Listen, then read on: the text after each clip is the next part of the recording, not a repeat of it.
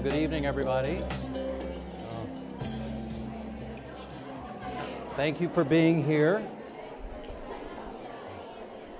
We are going to go ahead and get started in the interest of time because we have a lot of information to share with you this evening. We're so glad that you're here. Thank you for joining us tonight.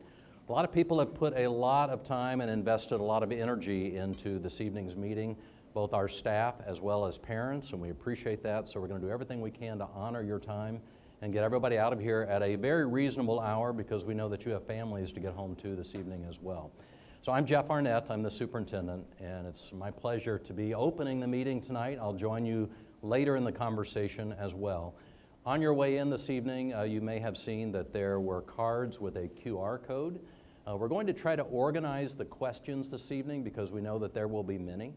And we know that many of you probably have questions that align with very specific themes related to tonight's presentation. I'll share just a little bit more about that in a moment. But first, those of you who have had the opportunity to join me for any of the campus conversations that we've had at each of the elementary schools, the middle schools, and the high school over the last few weeks, you saw this slide.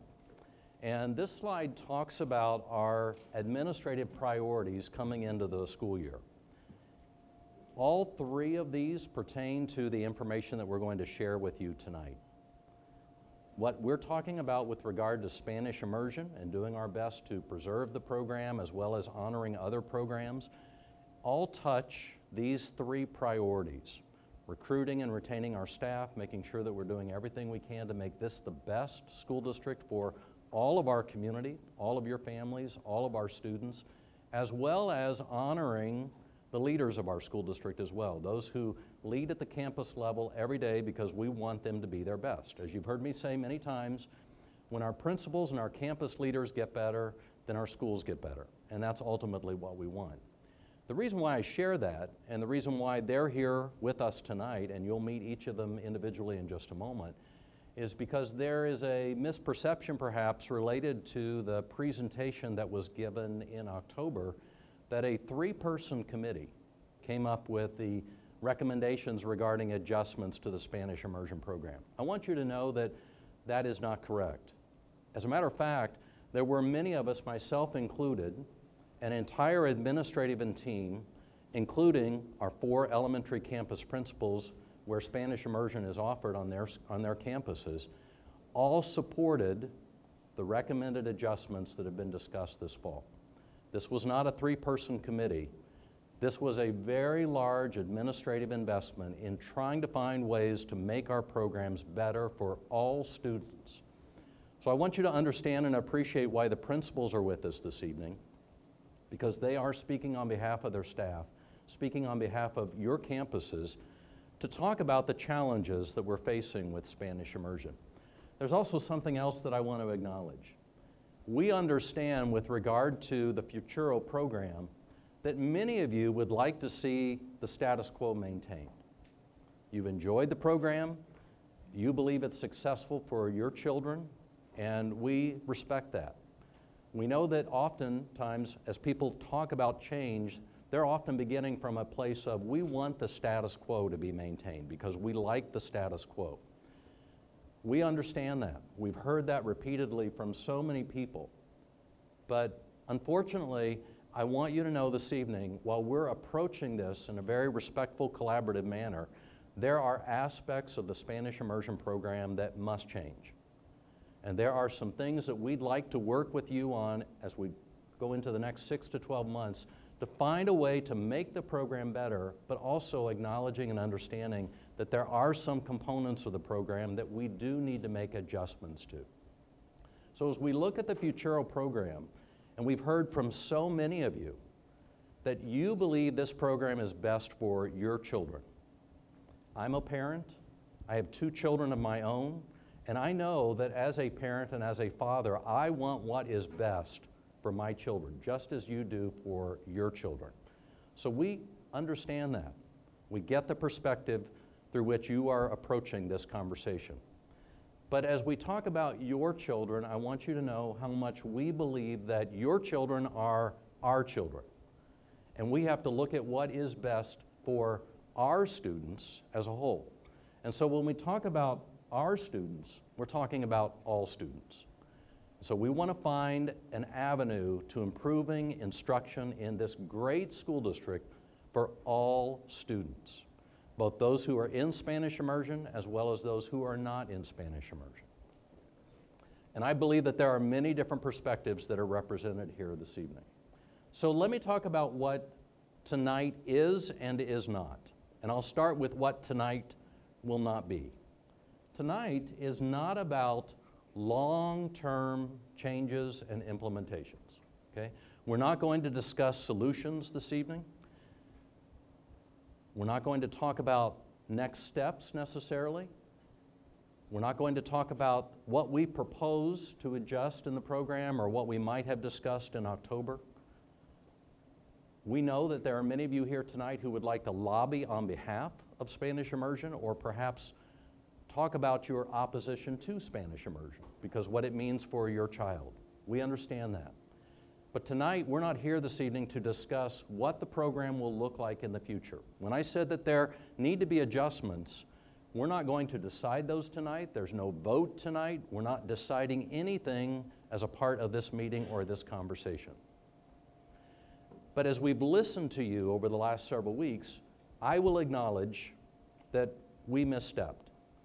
Because while we have understood what the long-time challenges and implications of the program are, many of you have not. We've been privy to conversations that have evolved over the last six years where we have seen year by year mounting complexities related to Spanish immersion and the Spanish immersion's effect on our general ed or traditional approach. And we've compiled that information, that data, that body of knowledge over the last six years, but many of you have not had the benefit of understanding that. So that's what tonight is all about.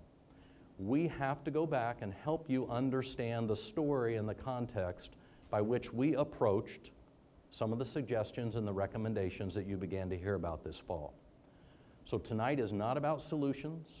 You don't have to worry about suggesting ways tonight that you think we can improve the program or address these challenges and these implications.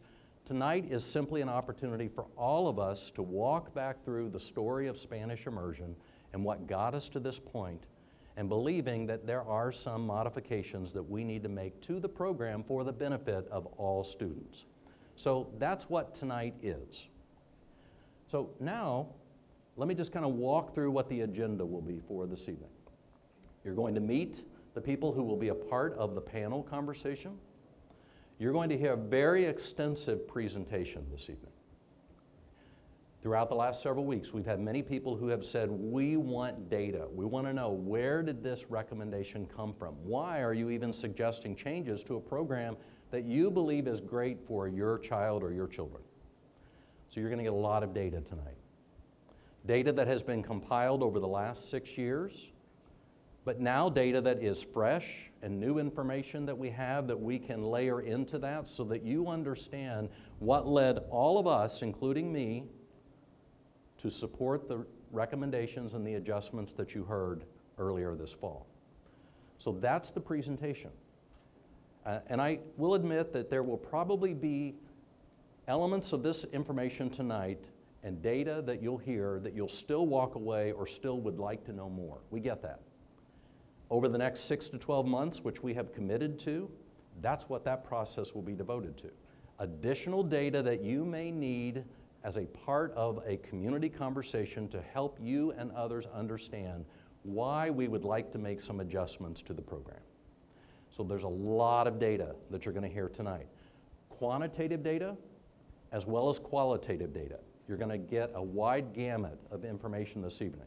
But it probably will lead to more questions, and that's okay because we've conceded that we're going to step back and work with you over the next six to 12 months to study the program, to answer more questions, and to provide more data. Tonight is just the beginning.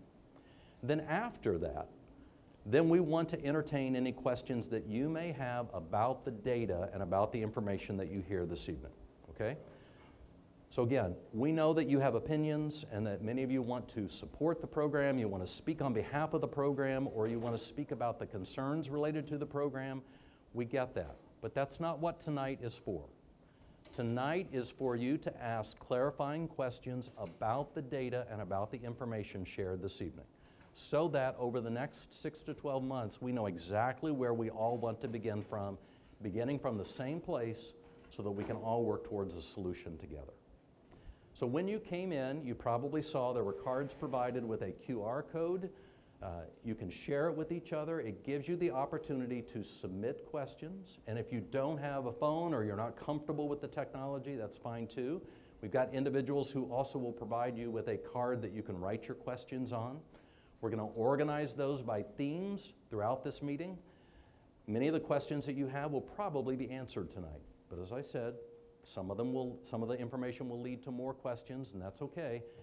Then we're going to devote probably the last maybe quarter of tonight's meeting again with the objective of getting you out of here a, at a reasonable time to answering any questions that arise during this evening's meeting. Okay? We want to be fair, we want to be respectful, and we want to give you as much time and attention, but I hope that you'll now give time and attention to these individuals who have worked very hard on this presentation, including each of your four campus principals. And I'm going to turn it over now to Molly May, who is our Assistant Superintendent for Curriculum and Instruction. She and her team have been working on this alongside the principals and the teachers. Molly's going to introduce them and then begin the presentation. Good evening, welcome. Thank you all so much for coming. I want to introduce our panel this evening. Um, we have Sherry Bryant, who is our principal at Bridgepoint, Laura Coaxum, uh, principal at Cedar Creek, Leslie Ryan, is our principal at Eanes Elementary, and Tiffany Phelps Shipman, our principal at Barton Creek. Um, I am the assistant superintendent, Molly May, of the curriculum department, Chad Burnett, director of CIA, and Heather Meek, also one of our CIA directors. Uh, just quick overview, I won't go through this, but this is what the evening will look like. So you guys can kind of see an outline of the presentation that we'll be um, reviewing with you guys this, uh, this evening. I want to start off tonight. I know that we have some of our teachers in the audience, and I want to take a moment to really acknowledge our teachers and the work that they have done. And so, in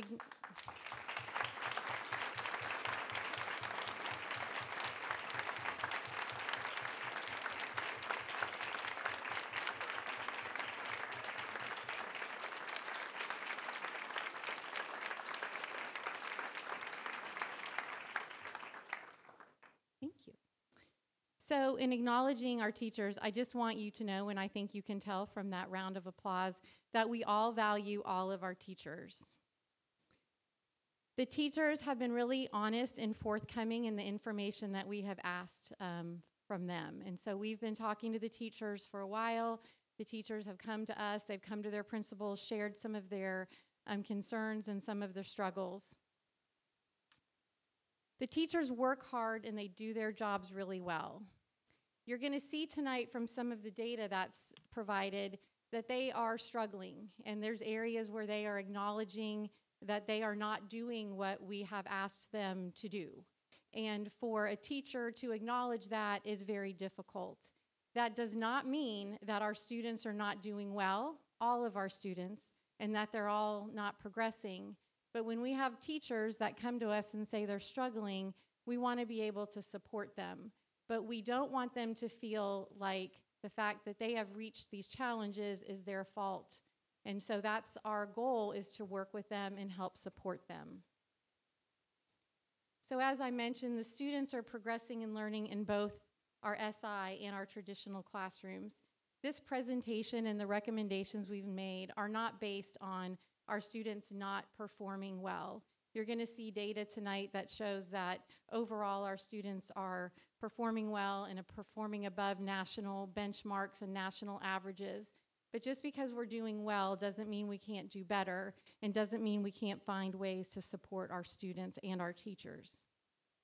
With that being said, there's no blame. I know that sometimes the teachers, it's like, oh, I, I couldn't do what I was asked, or the time, the time constraints are very difficult. No one is blaming anyone. And as I said, our teachers are working hard, the students are doing well. And so we're just here tonight to present facts and information and work toward problem solving. Each year is still a new year, and a, sorry, it's still a pilot year with Spanish immersion. I know that when we adopted the program formally in 2019, people said, well, we've moved away from a pilot. But what you have to understand is every year is different as we've progressed this program up. So the TEKs are different, structures are different within departmentalization or not departmentalizing. There's just challenges in every single year. And so while it seems like perhaps it shouldn't be considered a pilot, it really has been for us every single year trying to figure out something that looks a little bit different than the year before. Additionally, it's important to note that Spanish immersion evolved during COVID. I had some questions of people saying, why in October of 2022 are you bringing these challenges to us when they've never been addressed before? Which they had been addressed in previous presentations and um, reports to the board. But as everyone knows, during COVID, we were all in a period of really just trying to survive. And so it took us a while too to get back to normal. We'll, you'll hear from anyone who you talk to in the field of education that this year feels like the first year of being back to normal. So during this time, we've had an opportunity to really look at what's going on in Spanish immersion and see some of those challenges that, quite honestly, we didn't address during COVID because we were really just trying to get through um, all of the challenges that we were facing with COVID. Our job as administrators is to recognize the barriers and challenges and support our teachers so they can support their students. And so I really just want to emphasize tonight that that truly is our goal. Our ultimate goal is your children. And we want to figure out a way to make sure that our teachers feel supported because as Dr. Arnett said, when our, when our leadership and our teachers are feeling good, feeling supported, have what they need, then all of our ch children are going to succeed. And then lastly, we want to create a sustainable program for all of our students to thrive that retains and attracts high quality staff. And that's our ultimate goal with everything that we're going to discuss and everything we're trying to reach tonight when we have this discussion. So I'm going to turn it over now to Heather Meek to discuss some of the background. Thank you, Molly. All right, good evening, everybody. Um, as Molly said, I'm Heather Meek, one of the curriculum directors here in Eanes. And some of you know me as Principal Meek, as I was um, the principal at Bridgepoint when we first began the program back in 2017. So I'm going to share a timeline with you, and this timeline shows our journey as a district with Spanish immersion. Portions of this presentation and additional information have been shared in one board report or another over the past 13 years. You can see that if you go as far back as April of 2009 and then again in 2010, the first board reports were shared with the school board. And at that time, the school board did vote to not implement Spanish immersion. And then Spanish immersion was then revisited again in 2016 and at that time, I was part of a discovery committee that was put together to um, research information about Spanish immersion and implementing a pilot. And we, com- we also um, d- had that committee um, comprised of parents and staff that we took input from. Um, we began the implementation at Bridgepoint and Cedar Creek in 2017 and then added programs at Eanes and Barton Creek the following year. Since then, there have been four additional board reports shared with the community, and in 2019, we had another study group comprised of parents and teachers and staff um, where we looked at the program. So, as one of the four original principals to start Spanish immersion in Eanes, I'm honored and proud to highlight the benefits and the successes of the program. Based on research from the Center for Advanced Research on Language Acquisition, this slide explains the benefits of a foreign language immersion program. So there are academic uh, benefits. Um, we see immersion students are they're capable of performing as well as, or in some cases, better than their non-immersion peers on standardized math tests and reading measures. Um, English proficient uh, immersion students typically achieve higher on second language proficiency compared to students in other type of um, language programs. There are cognitive benefits. Um, bilingual children develop the ability to solve problems that contain conflicting or misleading cues at an earlier age. They demonstrate an advantage and uh, with selective attention and exhibit greater sensitivity to verbal and nonverbal cues and show greater attention to their listeners' needs relative to their monolingual children. Um, there are um, employment benefits that prepares our students for additional employment opportunities in a global economy, and it increases cultural competencies. So here we've captured some of the many prideful successes of the SI program here in Eanes across all four campuses. Um, we have ongoing commitments from administrators, staff, and our parents. Our Spanish learners are making progress and they're, they're fully engaged in our program. They're becoming fluent. We have increased our kiddos' uh, opportunities for cultural awareness. We've seen sustained academic achievement, as Molly has already mentioned, and there has been a continued interest in the program. So, when starting something additional or working through change, challenges need to be acknowledged in order to ensure that we're serving, serving all students the best we know how. So, we first shared this research back in 2017 when we launched the pilot. It was important for us at that time to be clear and acknowledge the potential challenges so parents would have all the information that they would need when deciding if Spanish would, immersion would be a good fit for their child. The research outlines challenges in regards to staffing and teacher preparation. Um, with that, the supports for assessment and intervention have been a little bit of a challenge. And then curriculum development, as far as matching the resources to help the teachers outline the outline state standards, have also been challenging. Finally, meeting the increased levels of learning variability when learning occurs between the two language, languages has also shown to be a challenge. So, as I said, these have all been shared and they've all been shown to be a challenge here in Eanes, but we have remained committed to working through them and will continue to do so with you. And now I'd like to invite Molly back up. She's going to talk about, well, she's going to tell you.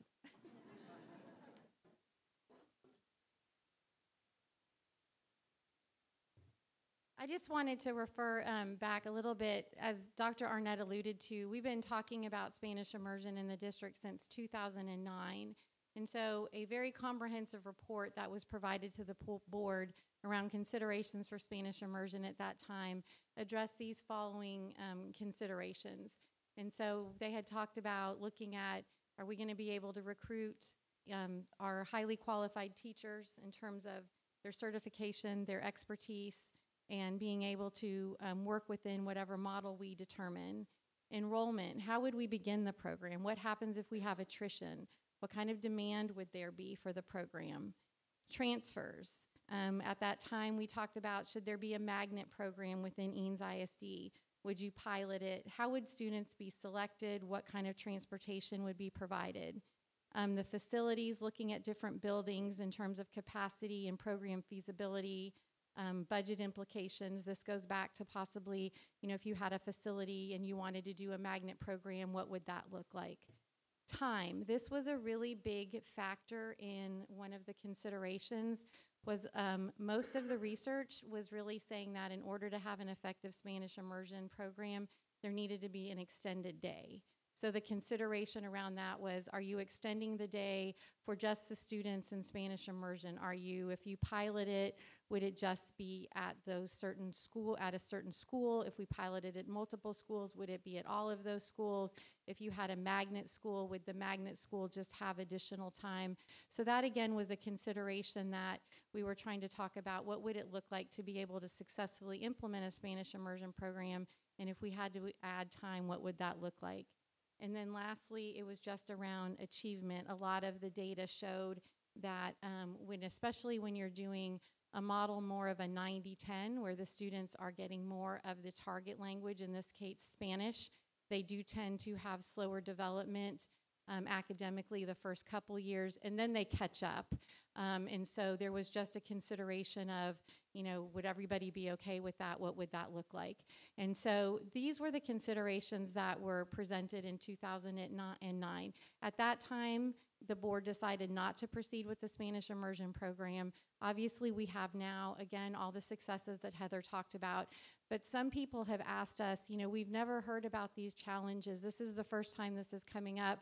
And so we just wanted to emphasize that even though we had these challenges in 2009, we still decided in 2016, 2017 to go ahead with the program. But some of these still are the challenges that we face today. I'm going to turn it over now to Laura.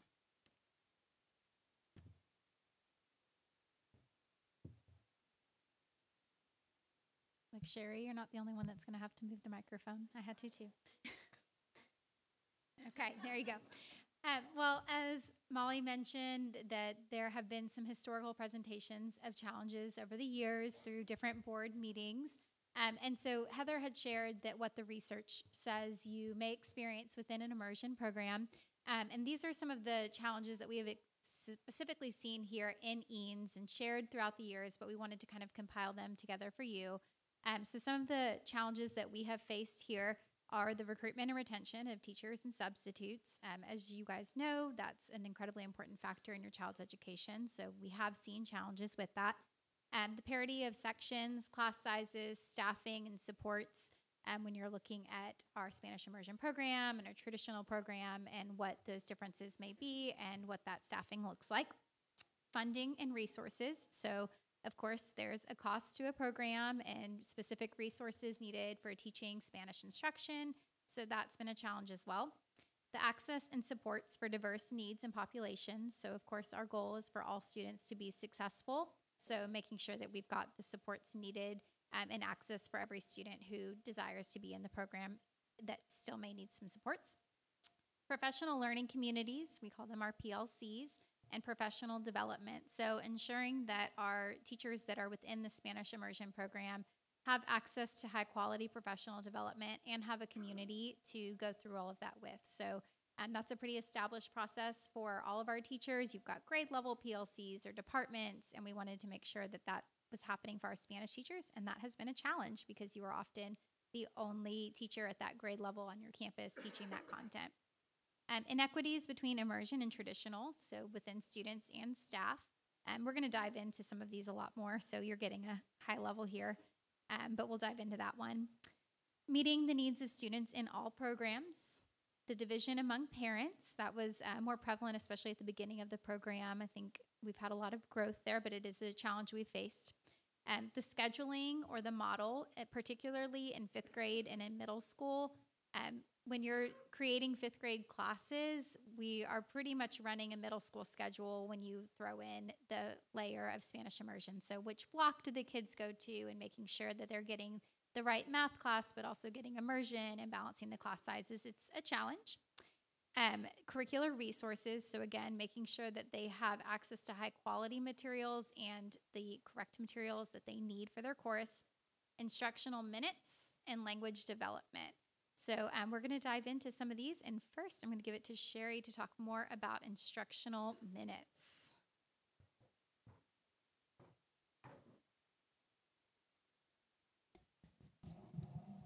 Great. yeah, perfect. Hi, I'm Sherry Bryant. I'm the principal of Bridgepoint Elementary. And as Heather said, she um, was the principal when we first started, and I was our assistant principal. So I, um, you know, have been a part of Spanish immersion from the very beginning, which I am very proud of. Um, so I'm going to just take you through um, the history of all the different schedules and um, why some of those decisions were made, and then how we have changed. Every year, we've made adjustments to um, capture just the different needs and to accommodate for things like compacted math in fifth grade, for example. So, um, as Heather said, when we first started on this journey, um, a committee of parents and teachers went to different programs in AISD. A group of people went to Utah to visit the Utah model. And what we landed on as a district was a 50 50 model, which is modeled after what they do in Utah. And we decided that 50% of our students' day, instructional day, would be spent in English, learning language arts and social studies. And then the other 25% would be in Spanish, learning math. And then the other 25% science in Spanish.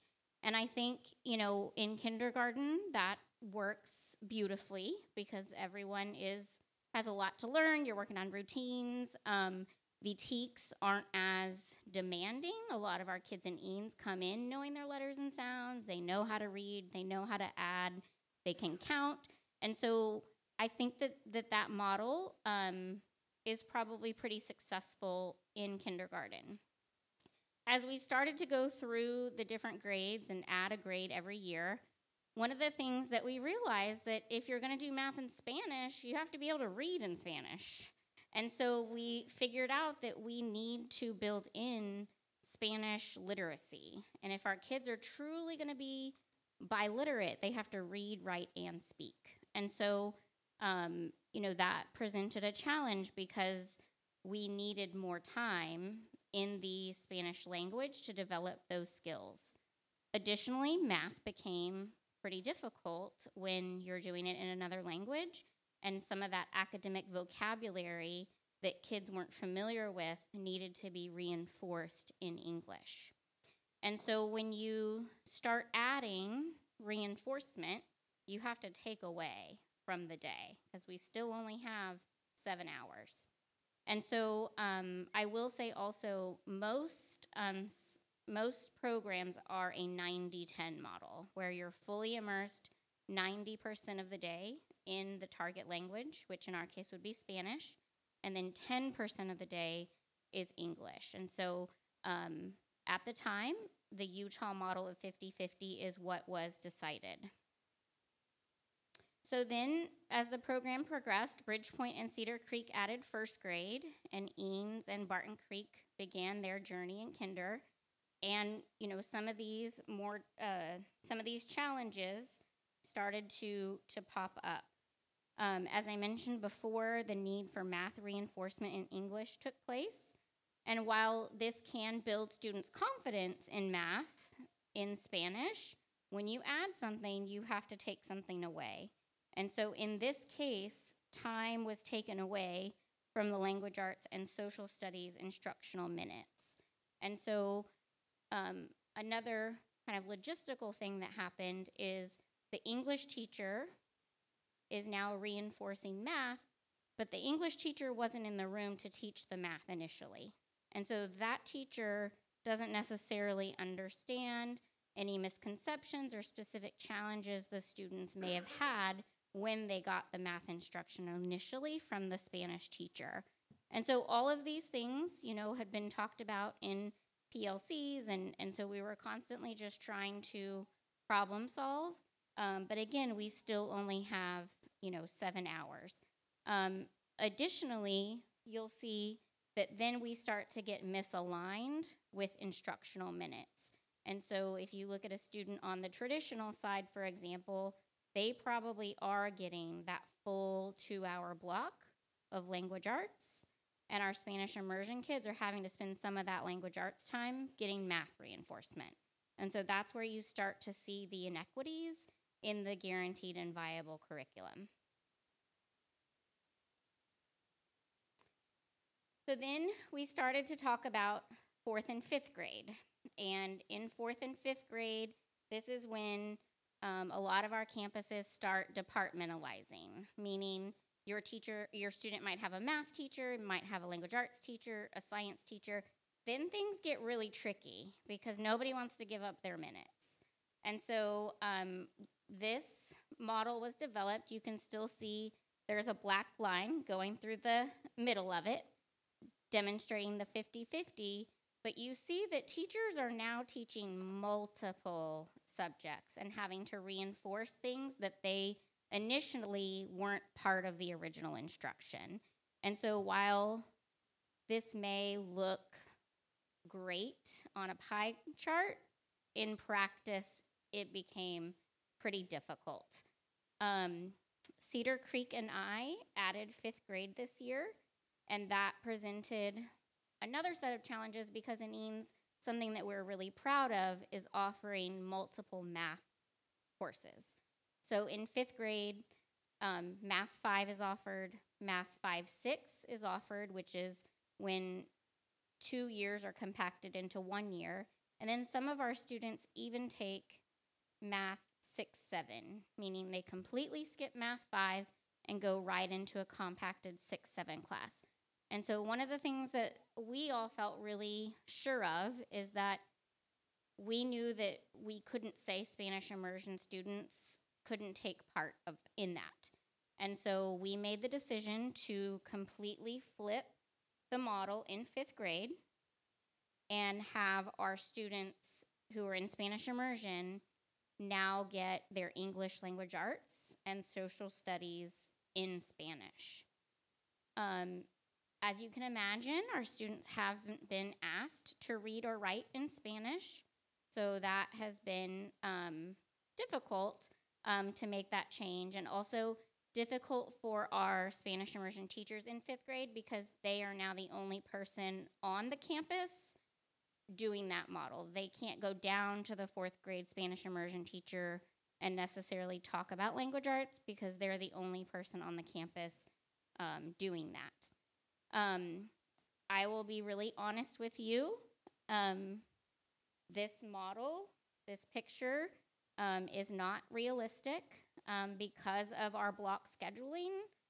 Students spend 120 hours in language arts and our language arts teachers need all 120 minutes. Our math teachers have 60 minutes, and our science teachers have 60 minutes. And so, if you'll notice in the model, it talks about how Spanish science is supposed science in Spanish is supposed to be happening. But my my language arts fifth grade Spanish immersion teacher doesn't teach science and um, needs her 120 minutes to instruct her students in language arts. So next I will turn it over to um, Ms. Phelps and she will talk to you more.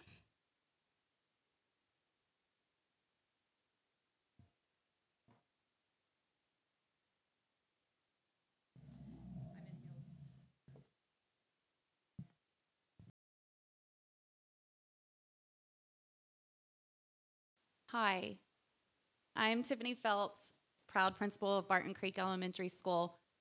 I have been there for six years, so that means five of the years that Spanish immersion has been on our campus, it's been me as the leader. Not only am I the principal, I am also the parent of a Spanish immersion student myself. My daughter is now in second grade at Barton Creek in the SI program, and I, just like you, enjoy the dinner conversations, the songs, her critiquing my poquito español.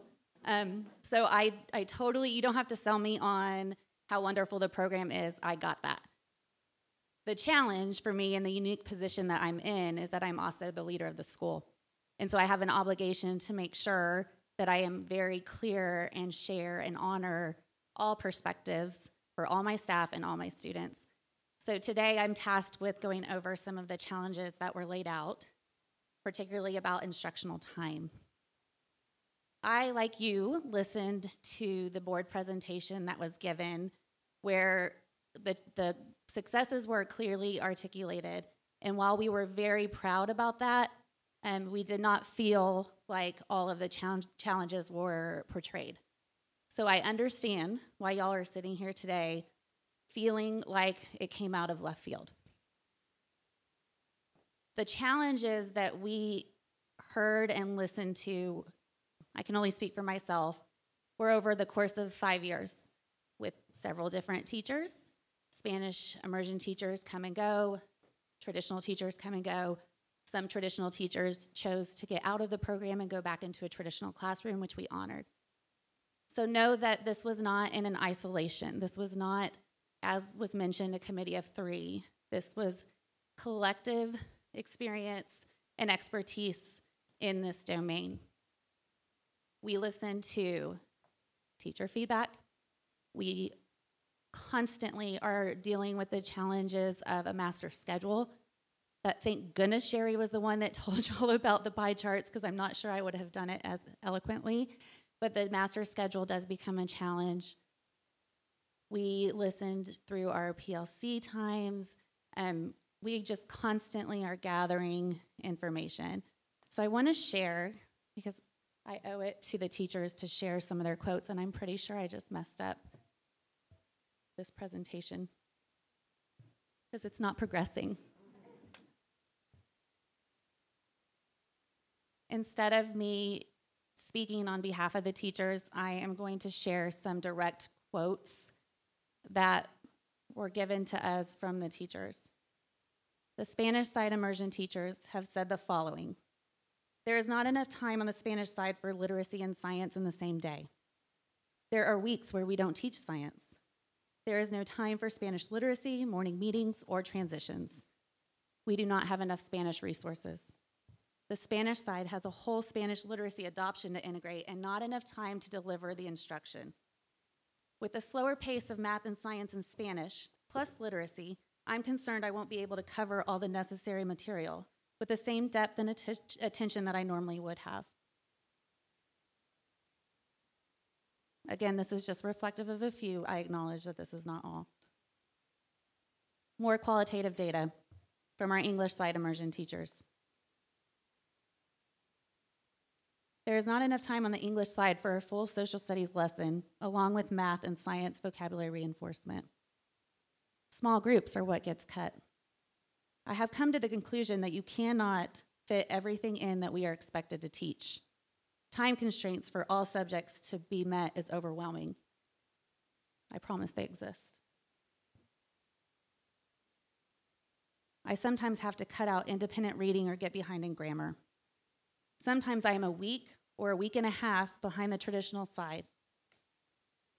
Qualitative data from Spanish and English side immersion teachers continued. 44 students is overwhelming. We are responsible for 44 students each day, which doubles the number of families and conferences and emails. Most of the time, we are not at the same place with our PLC because of our specific schedule. The SI program should have a two week window in order to catch up with our monolingual classrooms.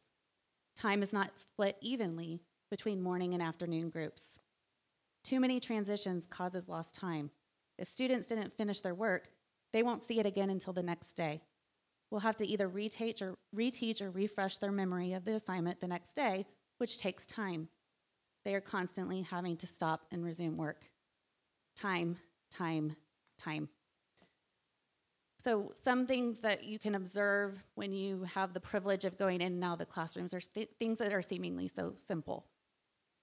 If a project, the kids are in the middle of a creative project, and it's time to switch, they switch. They don't get to finish it, they don't get to ask questions, they're constantly cleaning up to move on to the next class. If you've experienced five and six year olds at home with cleaning their room, you know that that can be a challenge. So they're constantly on a time constraint, which causes a lot of stress for not only our staff, but also our students. You've heard enough from me. I'm going to turn it over to Leslie Ryan.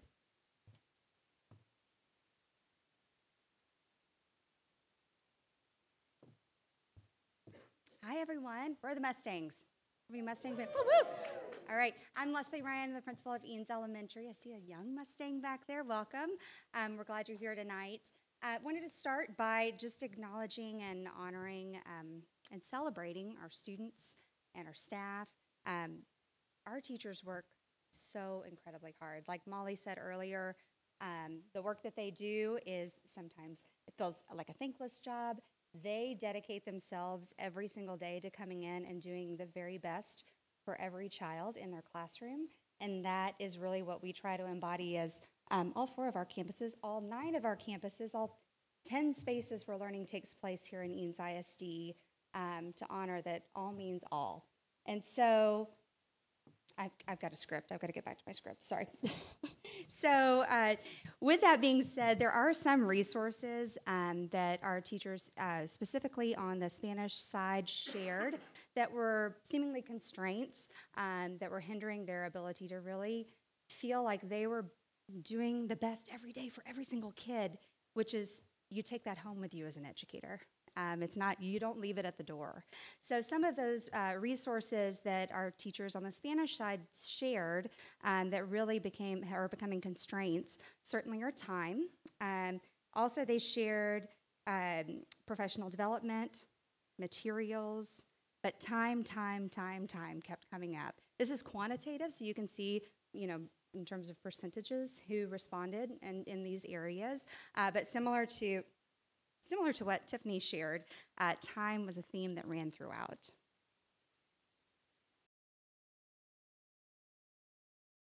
All right. So on our English side, you have some similar pieces of data. You see that professional development is an area of opportunity. You see that time continues to be a constraint that limits them in being able to really feel like they can fully flesh out lessons to serve all of their students. Um, and again, professional development in, in our materials were areas that, that came up as well. So, more on that later, but now we're going to transition to Chad, who's going to talk to you a little bit about um, our instructional time in a deeper way. Good luck with this mic, it keeps falling. Okay.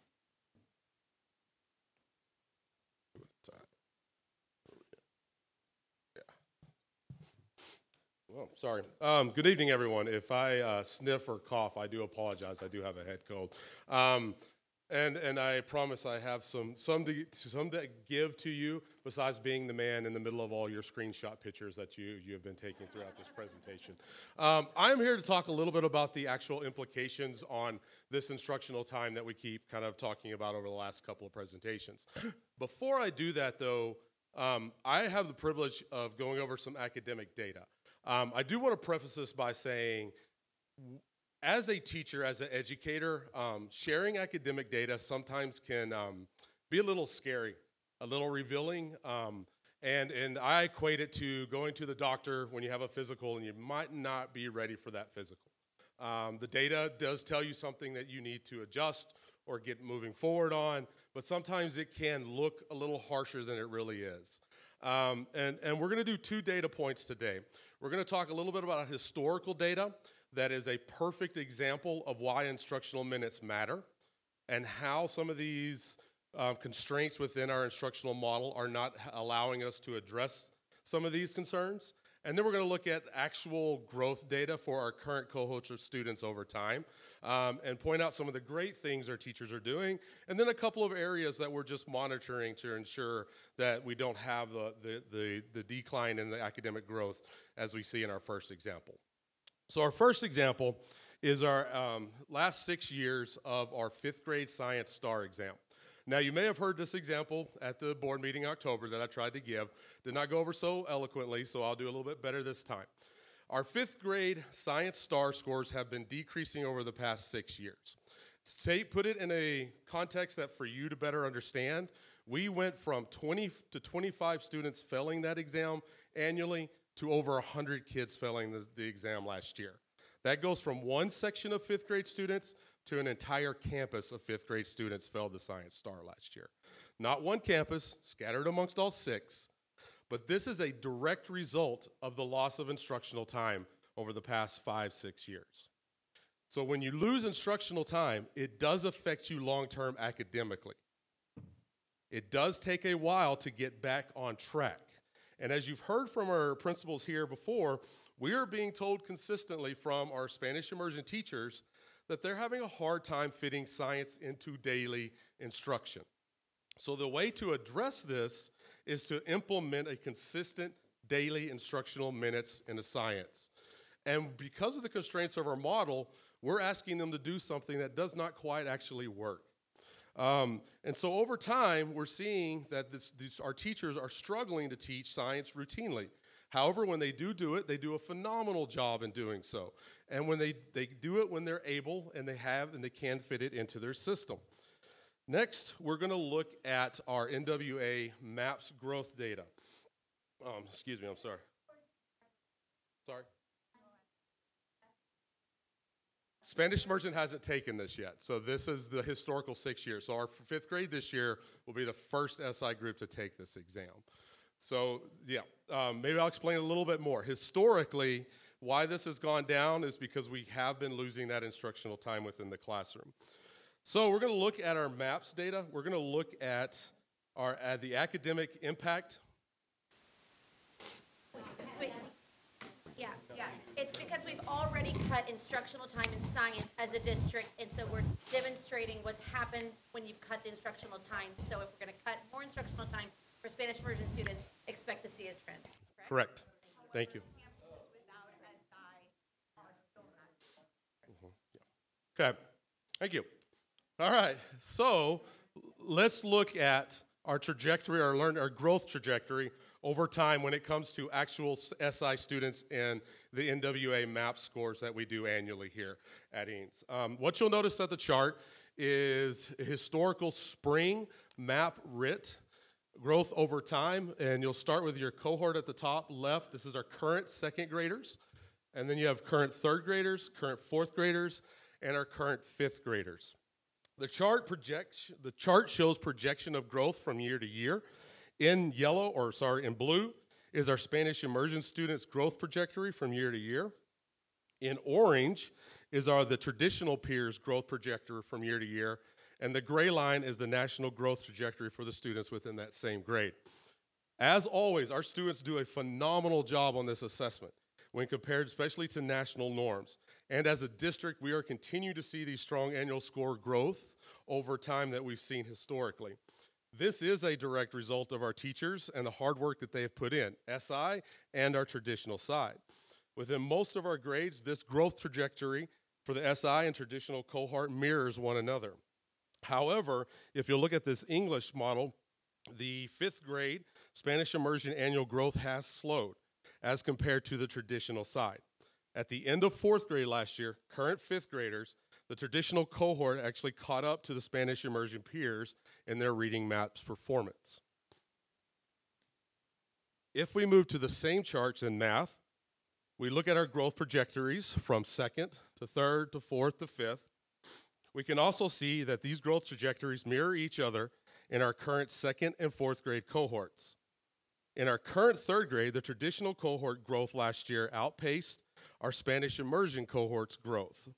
And if you look at our fifth grade, our fifth grade cohort right now in Spanish immersion is being outpaced by the traditional side, so much so over the past two years, the traditional side is now outperforming our SI students.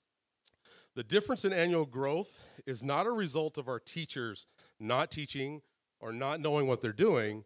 This is a direct result of those instructional time constraints that we just talked about. When you're having to, to make decisions, how much math do I teach? How much science do I teach? It does matter and will matter over time and show up. We hope to see a consistent growth across both cohorts every year. While this instructional minutes difference may seem insignificant, it is cumulative over time. So let's take a classroom where you miss 10 minutes of instruction average daily. That 10 minutes over one year equates to 20 instructional days lost. So even though it may seem minimal at, a, at the time of the loss of that instruction, it will accumulate over time, and it, it's very hard, even for the best skilled teacher, to catch up with that much time lost over a school year. Next, I'm turning over to Heather to talk about professional learning. So, just like learning and um, learning opportunities for our kids are important, it is critical for all staff as well. And um, we've had several challenges um, pertain to professional learning. And I just want to start by saying in Texas, um, the only programs that serve students, um, or the only programs that, that we get funding for for um, students that are learning a second language are th- are the kiddos that are trying to learn English.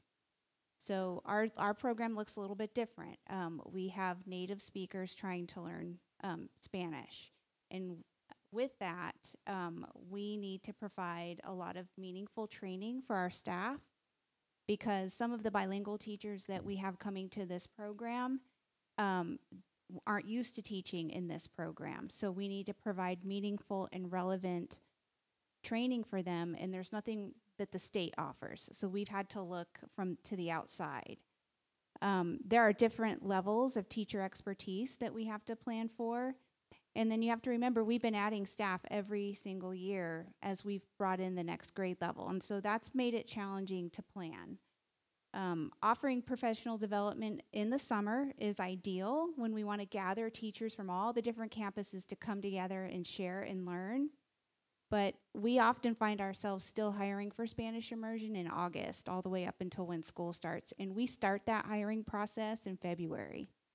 So um, ha- that part has not been easy. And then historically, not all of our teachers have atten- attend our training in the summer for one reason or another, just with all of the different commitments and other trainings that happen. Um, there have been frequent changes to the model. This has been especially difficult for someone in my position and as a building principal when trying to plan. When the model keeps changing, we feel like it's very reactive and we can't get in front of it. Um, so just adding those additional training for the, the reinforcement in literacy and math and the times that we've changed. We've moved teachers around from grade level to in response to some of that too, sometimes over the summer, last minute. So they miss out on critical change, uh, training. One of the things that we use to combat the lack of training in the summer is planning time during the year when our PLCs gather and but they're together on a campus. It's really hard to get everybody together off campus. With our sub shortages, we don't have enough subs to support teachers being instructed in PD throughout the school day during the school year. And the last part is our training model has been focused on Utah. We decided to do the Utah motto, model. We've used their state model. We've been using trainers from their state too. Just we, we want to hear it straight from the horse's mouth on how to do this.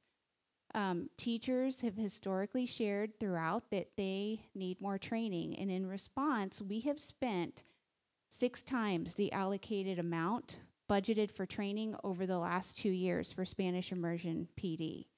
And even though we've gone over by six times, we are still finding that there is a lack of generalization due to different state expectations, different state supports, different district expectations. There's even differences in the training and the teacher certifications between the two states. So um, again, we received no instructional or financial support for our SI program because Texas considers it an additional program. Spanish immersion in Utah is state supported, and that model seemed ideal in 2017, but we have found that it is very difficult to implement that model with fidelity here in Texas, especially from a curricular standpoint. So now I'm going to invite uh, Laura up and she's going to talk about retention and recruitment. Thank you.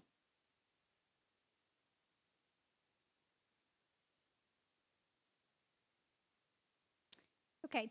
Um, I don't know if any of you are uh, data nerds or research nerds, but if you've ever read um, like John Hattie's research on the effect size, the factor in a child's education that has the single greatest impact on them is their teacher.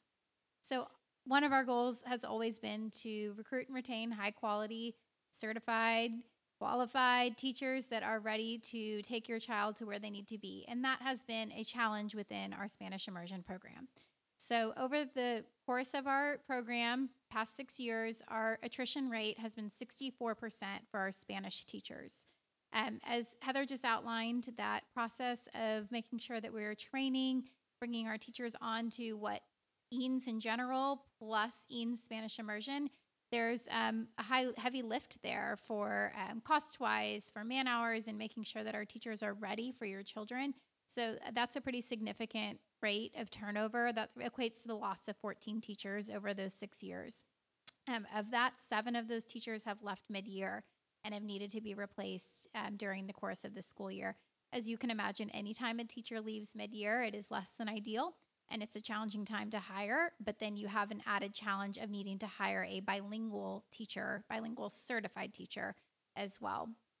Um, there have been several job fairs. So, big colleges and universities have job fairs. We go represent. I've been at some of them this past fall and talked to zero bilingual candidates at those job fairs. And we're talking UT, Texas State, A&M, um, that bilingual elementary certification. We didn't talk to anyone. It doesn't mean they don't exist. There's obviously people in programs, but when you took look at quantity and comparison, there weren't any at the job fairs in the spring or fall. Um, we also, as Heather mentioned, with that PD piece, having substitutes in general is a challenge, but specifically Spanish speaking substitutes is a challenge. So we want to provide that continuity of instruction. And when your child's teacher needs to be out of the building for whatever reason, our ideal scenario is having a Spanish speaking substitute.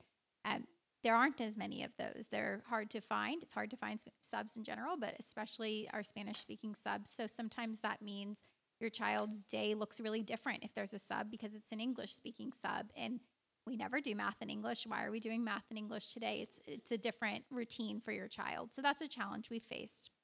Um, if you look at the Central Texas area schools and vacancies as of November 2022, there were 97 bilingual teacher vacancies. So we are very fortunate that we are fully staffed across immersion right now in Eanes, um, but you can see the teacher shortage is real. There are 97 classrooms without a bilingual teacher in them right now in Central Texas. And we do compete for the same talent pools. So, one of those pieces that has really contributed to that challenge is that increasing stipend for bilingual teachers. We have seen this go up and up in other districts around us. And with cost of living on the rise, it makes a big difference to a teacher now when they're making a decision on that $4,000 difference in a stipend in another district might mean a lot for their family. And so that is a challenge when we look at that recruitment and retention piece. Um, this past school year, we had to hire seven Spanish speaking vacancies across our six campuses, and we had 16 qualified people to that, that was our candidate pool. So fortunately, we did find seven in our 16, but as you can imagine, it's about a one and two when you're interviewing. Our rate for traditional looks very different. So um, that candidate pool is just different. And we've been very fortunate to have wonderful, amazing teachers in our classrooms. And our goal is to be able to continue that. So we want to keep retaining the talent that we have here in Eanes and continuing to recruit that level of talent from our current Spanish teachers. And I am going to turn it over to Leslie to talk about program inequities.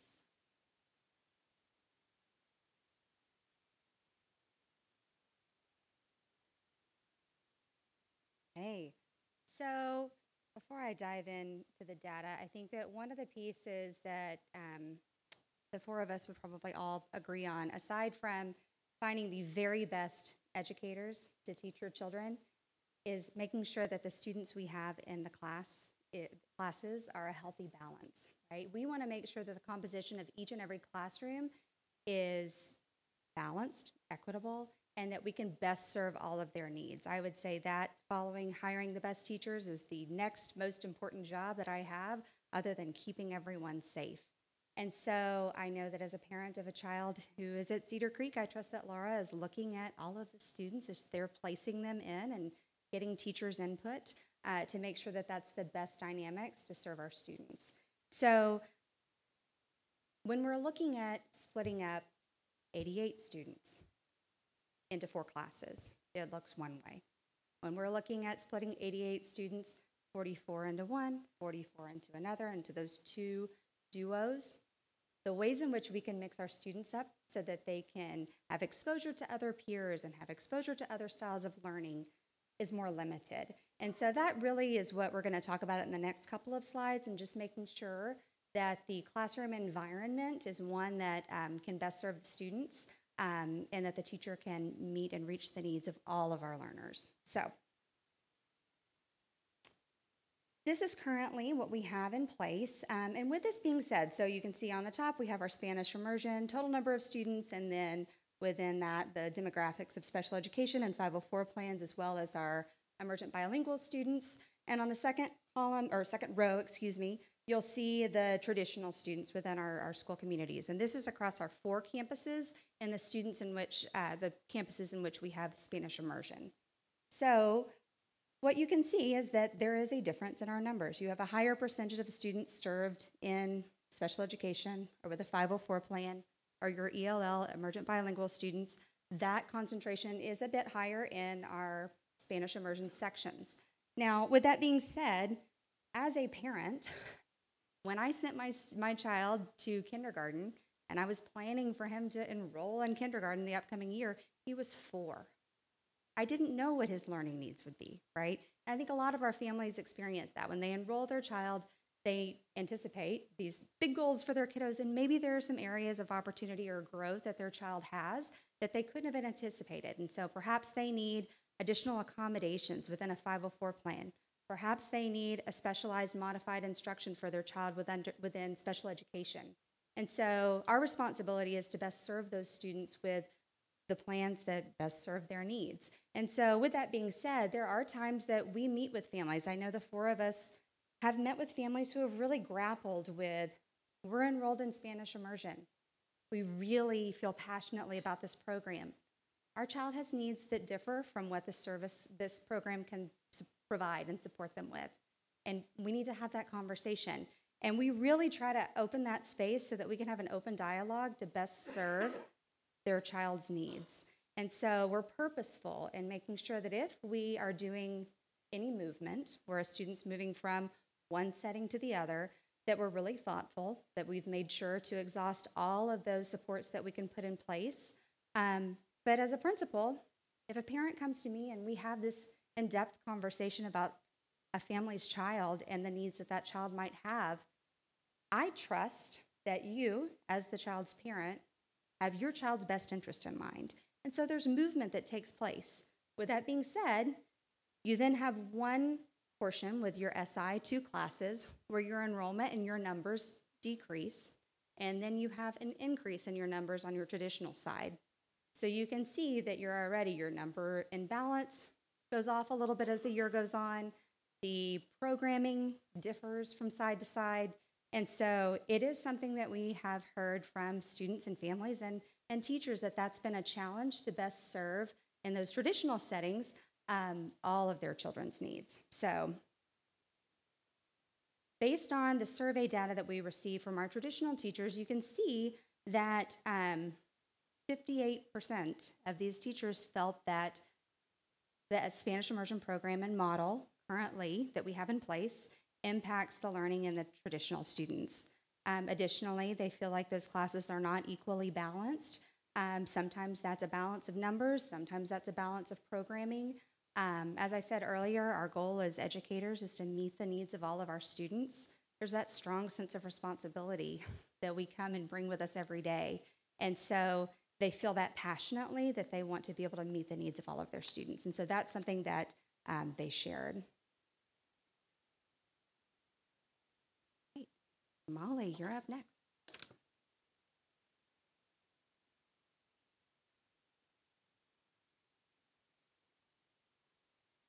So continuing with um, speaking about some of the program inequities, and one of the uh, the slide you saw previously with the um, English or the traditional side teachers talking about the stipends. So there is inequity with our stipends.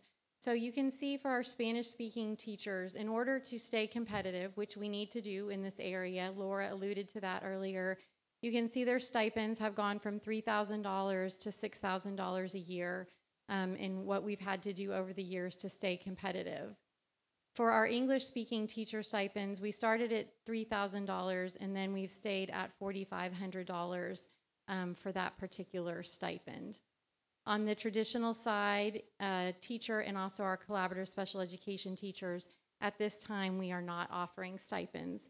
And again, we want to stipend everyone a million dollars if we can, but we can't. And so there are budget constraints. And so those are things that we have to look at. And when you're trying to look at what are the most competitive jobs out there, those are the jobs that we are typically stipending um, as a district and what we are able to afford to do. And so that, that is a challenge that we are facing um, with our teachers.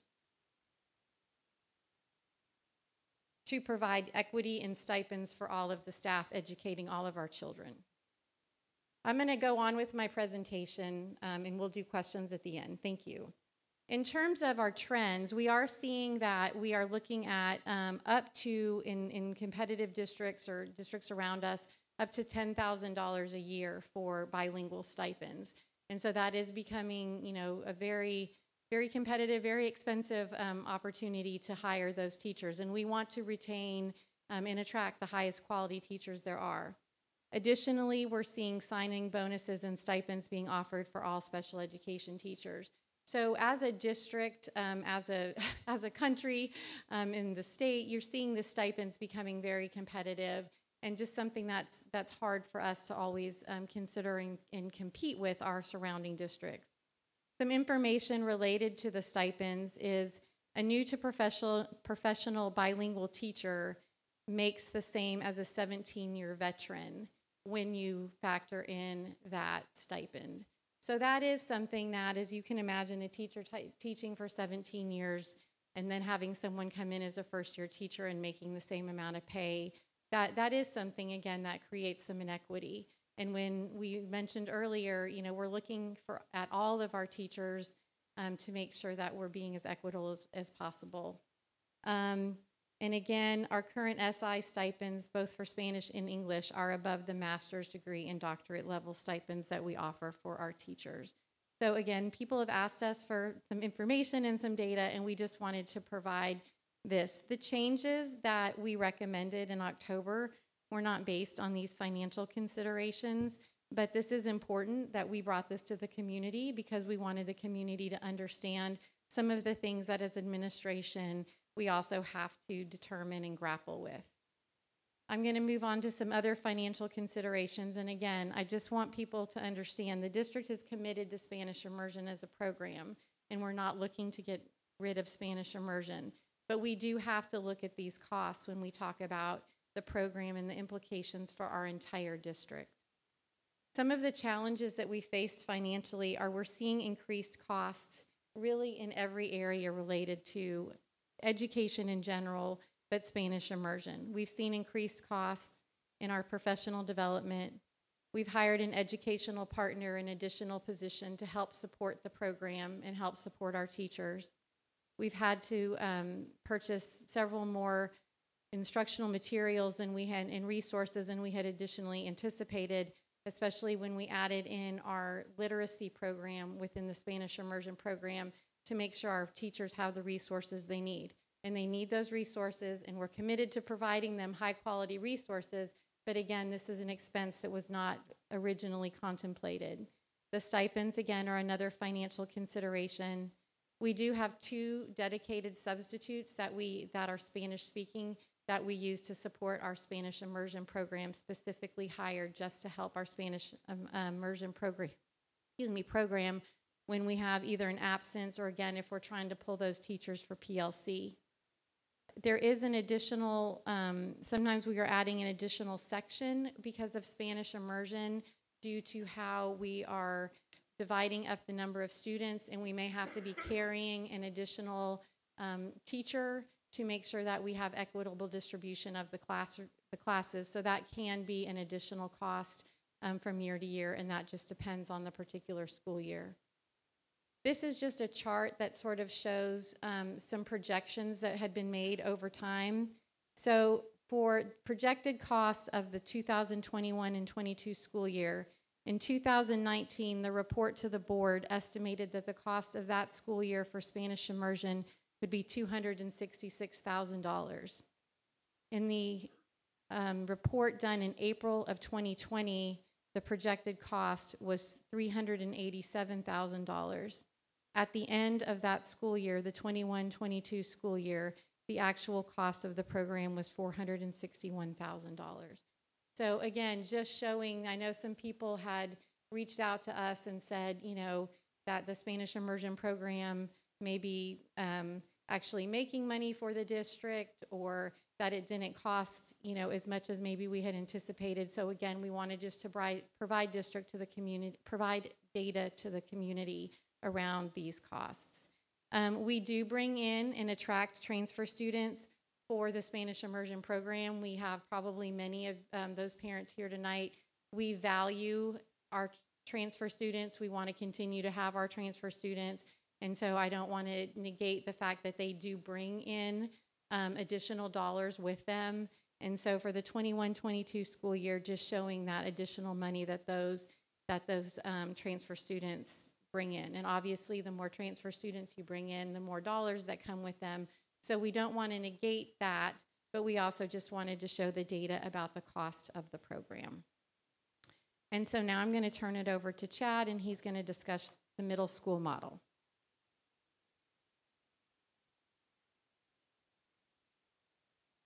Okay, I'm going to quickly go over the uh, middle school model as was presented last spring. Our Spanish immersion students will move to the middle school with much more advanced communication skills um, than our traditional students that take Spanish 1 in a traditional Spanish 1 class.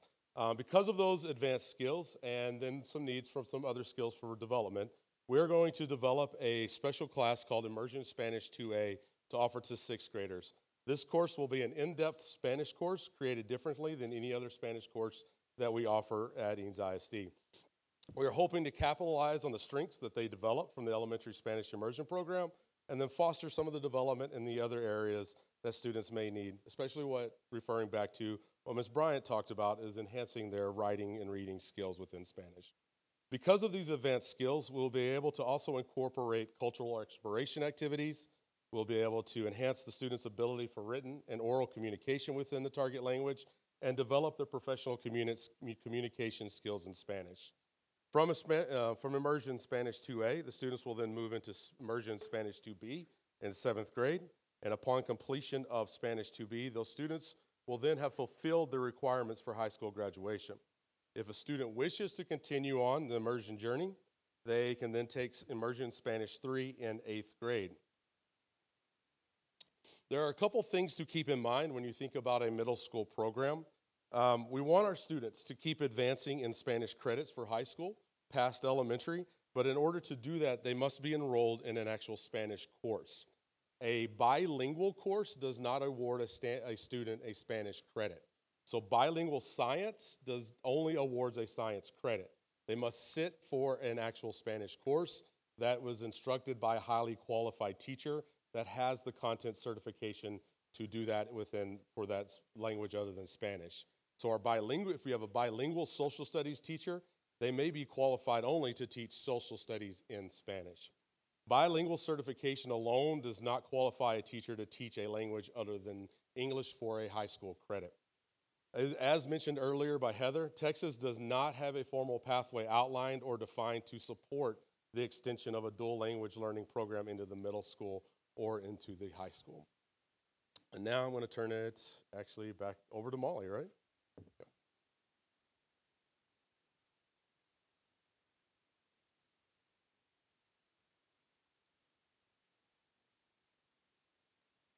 So, what are the next steps?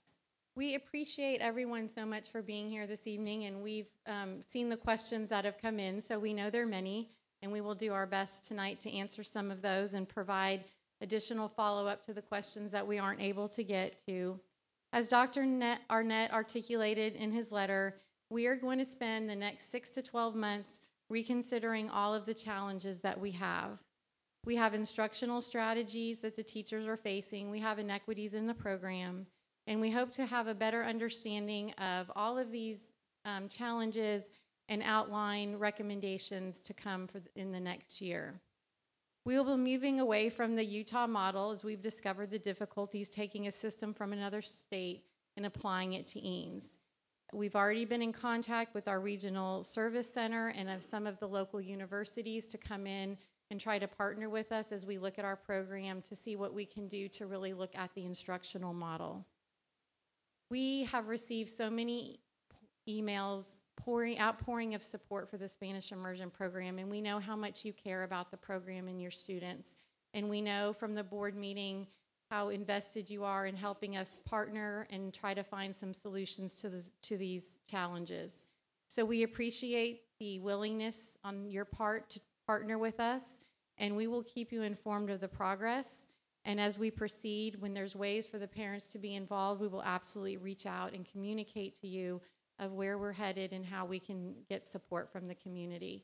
But we sincerely appreciate everyone being here this evening, and we hope we've outlined some of the challenges. As I said, some people were questioning where did these challenges come from. We just wanted to let you guys know we are still committed to the Spanish immersion program. We started off with the successes because we want you to we want to acknowledge that we know the benefits of Spanish immersion.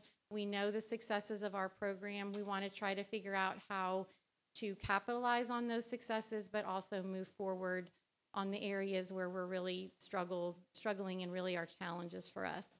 So at this point, we're going to um, open it up to some questions. And I think um, Dr. Arnett is going to ask some of those questions. The panel will try to answer them. I don't know that we'll get to all of them, but we will, we'll do our best.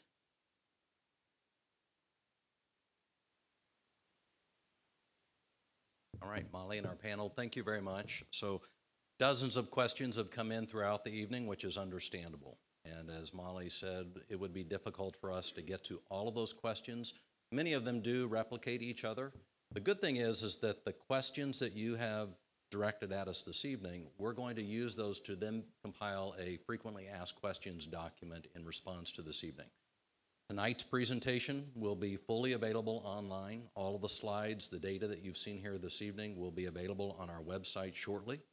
The video of tonight's presentation will also be available online. It takes us a few more days to do that, but we'll do our best probably sometime before the holiday break. Uh, you'll be able to see that information, but the slides themselves should be available on our website much sooner than that. Um, I'll just reiterate again, we are not changing the structure of the program for next year. So your children who are in the program, or if you have children who would like to be in the program or you want that for them, we're not changing the two-teacher model for next year. None of the structure is going to be adjusted for the 23-24 school year. It will remain the same as it currently is. Doesn't mean that we may not adjust or tweak some things within the program instructionally based upon some of the challenges that you've seen tonight. But for those of you who have children in the program or you would hope that your children will be in the program, the program will continue as is for next year.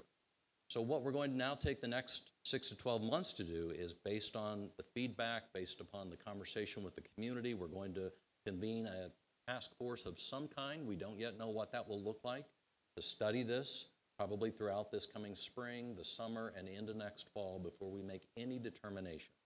So we're not reverting back to the recommendation that you heard in October. We're going to go forward based upon, uh, actually with an open mind, to see what new ideas may emerge from the community that we can use to respond to the challenges that you've seen outlined this evening to determine what adjustments, if any, are made to the program going forward. So I do want to ask some of the questions that have been submitted this evening, and again, we won't be able to get to all of these, but I want to try to get through as many of them as we can with respect to time so that you can still get home to your families here at a reasonable hour. So here's the first question. Would it be possible to fund additional resources to implement components of the Spanish immersion program for more students, hence using money to ensure that the Spanish immersion program remains unchanged? Anybody at the panel want to take that or? Sure. Would it be possible to fund additional resources to implement components of the Spanish immersion program for more students? hence using money to ensure that the Spanish immersion program remains unchanged. I'll take that. Or Molly, would you like to start? Okay. For the program to remain unchanged while still trying to address some of the issues that we've outlined, particularly in our traditional or general ed sections, it would essentially mean adding a teacher. Many people have said they understand the rationale for a self contained model, for example, but to do that, you'd have to have two bilingual teachers in each grade level, and that would actually mean adding an additional section for each grade level in that case. Well, that's based upon a number of assumptions. One, can we find the additional bilingual teachers to do that? And two, do all of our campuses even have the room to add an additional classroom or section in those grade levels? Cedar Creek, for example, is completely maxed out, has no more additional classrooms, even for us to consider that possibility. So it's not just a financial consideration, finding the additional bilingual teacher, funding an additional what we would call an FTE or a full-time equivalent teacher for that grade level or all grade levels. But then it also becomes a space consideration as well because we simply don't have the space in all of our classrooms or on all of our campuses to do that. Next question. Why have members of the board and administration said that they don't value diversity, equity, and inclusion, or consider the SI program to be consistent with DEI ideals. Anybody on the panel want to take that one?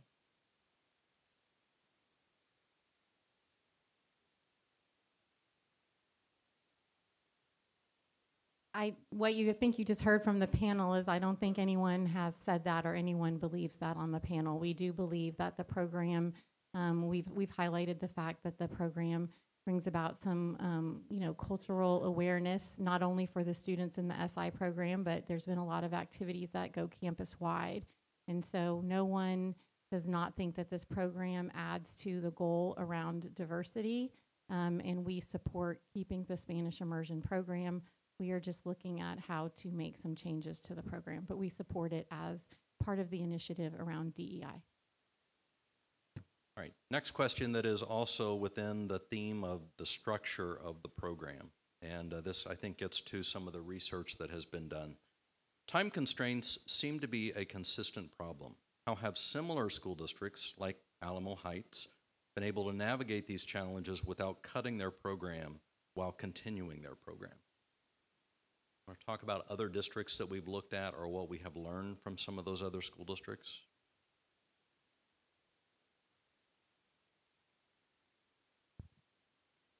Um, I think I mentioned this a little bit um, when I spoke. Most other school districts have a 90 10 model, and most of the um, bilingual type programs in Texas are for um, English speakers to, or sorry, Spanish speakers to acquire English.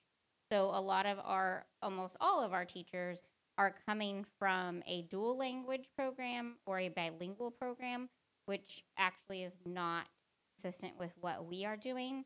So we are trying, we still are in this pilot phase, like we talked about. Our fifth graders are the first pilot. We have not had a year yet where we haven't had to add a grade. And so, um, you know, we, uh, we are still navigating and we are trying to still um, figure it out. And I think that we are unique in that we are trying to do it at four different schools while maintaining the exact number of students that we need, which I think is, has presented a challenge.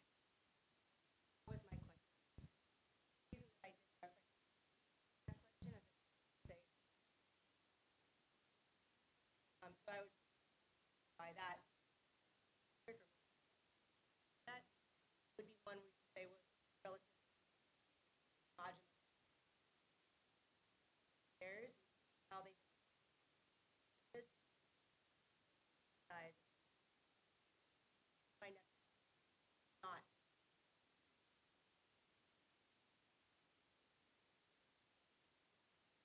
This is a reference I do. I went.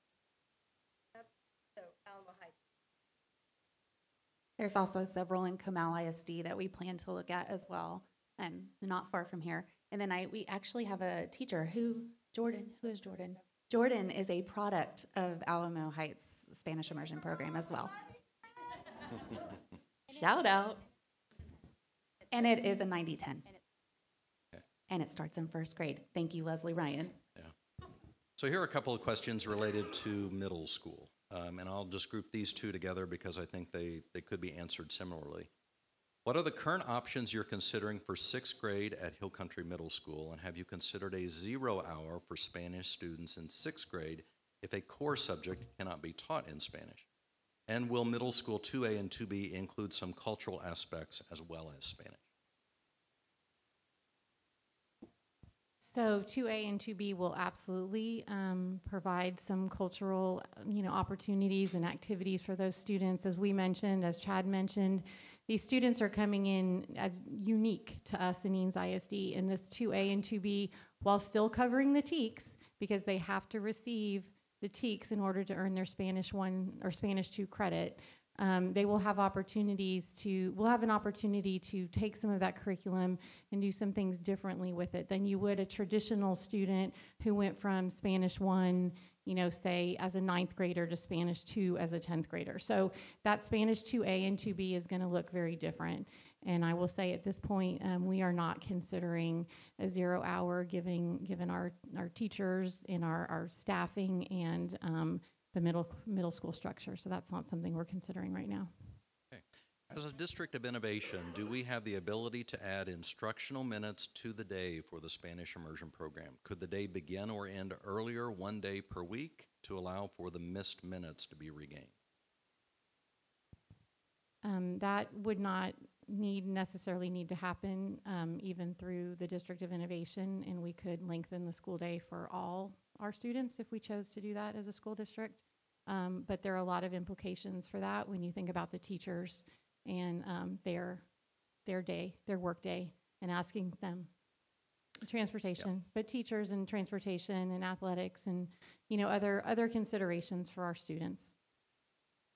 Have you looked at student performance on testing at the campuses that do not have Spanish immersion? How does that student performance at each of those two campuses compare to those campuses that do? Uh, yeah, we, we have. It's very similar. Um, same trends that we saw as far as growth. Um, and when you compare your traditional sides, so they matched up with the traditional growth trajectories that you saw um, when those when those two cohorts or those two campuses were added in to that NWEA MAPS data. Um, the student or the Spanish immersion student population appears to test above the normal population. While there might be minimal declines in the growth rates at the fourth and fifth level, the two populations appear to have negligible differences. What metrics are the district using to determine the SI test scores indicate a problem?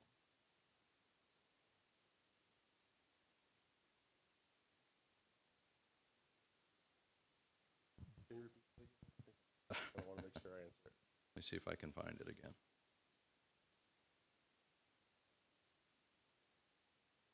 It's basically just asking what metrics are you using to determine that the negligible differences between Spanish immersion growth and those that of the traditional students is a concern? Yeah, so right currently right now with the the MAPS data that was presented, it's not necessarily we're looking at that as an SI program as the causation of those those growth declines. What that does is that gives us a point to start going in and collecting more data to see if there is an actual issue that needs to be addressed within it within the either the Spanish immersion program or the traditional side. So what we're hoping to see when those two metrics are compared, a traditional cohort versus an SI cohort, is a trajectory of growth that matches.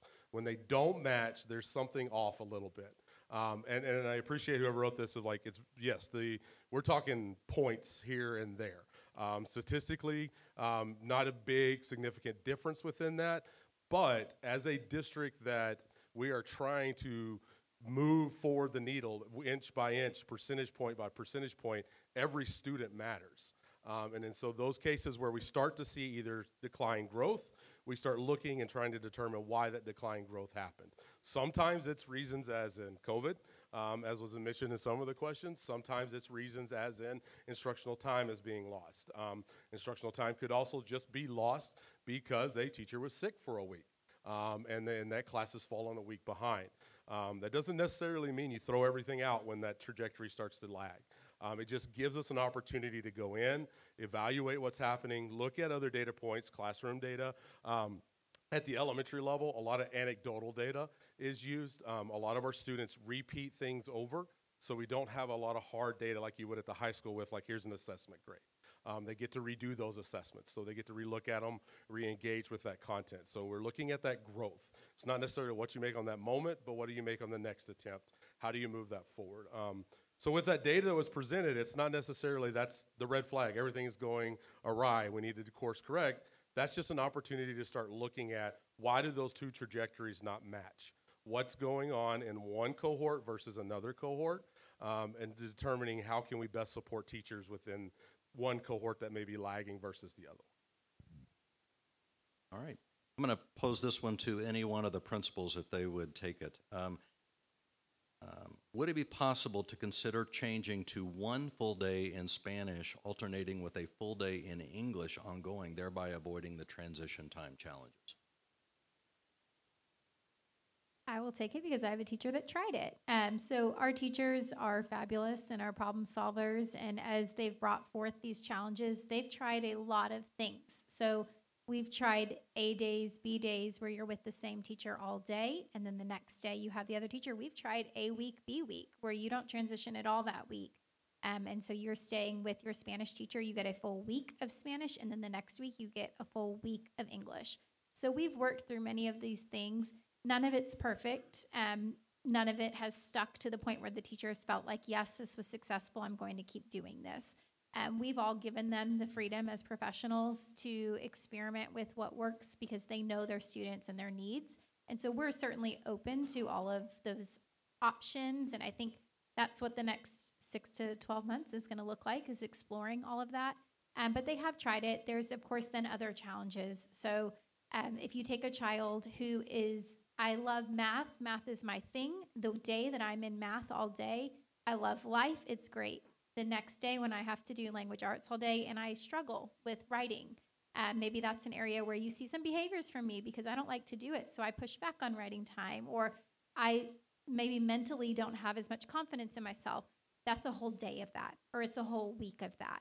Um, so it takes out some of that balance in a child's day and knowing that they have strengths, they have growth areas, they all do.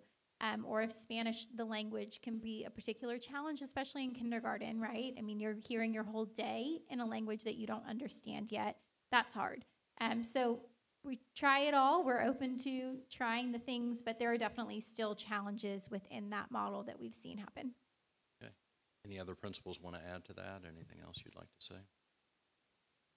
I was just going to say that to piggyback off Laura, I, I did see some questions in here about expanding the program, and I think that that's kind of where we feel like we need to figure some things out before we add to the program.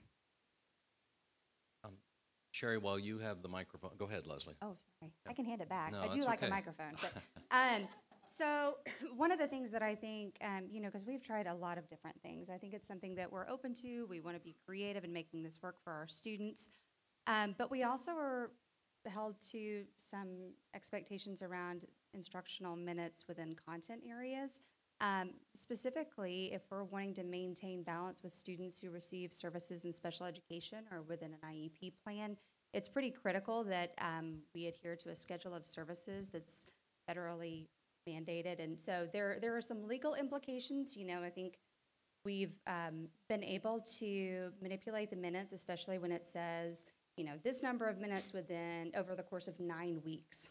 That gives you some leeway. But when you have a schedule of services for a student that specifies 90 minutes within the instructional day on a daily basis, it limits you a bit in what you, um, in how creative you can get because you are required, especially if a student receives collaborative or modified um, services. And if we're wanting to maintain that balance of equity within our instructional settings, um, it's going to be critical that we're able to deliver that instruction to adhere to that federal mandate.